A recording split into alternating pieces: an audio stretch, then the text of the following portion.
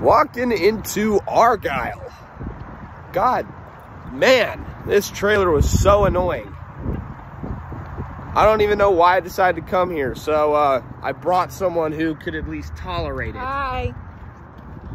She'll probably like it. I'll probably hate it. We'll see. 2,000 years later. Well, um,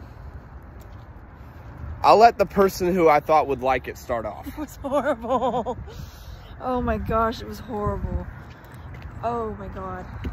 How is that somehow worse than Night Swim? It was worse than Night Swim. How? I didn't think that was possible. How did a $200 million movie be this bad? Why is it that every movie we go to to see together is horrible?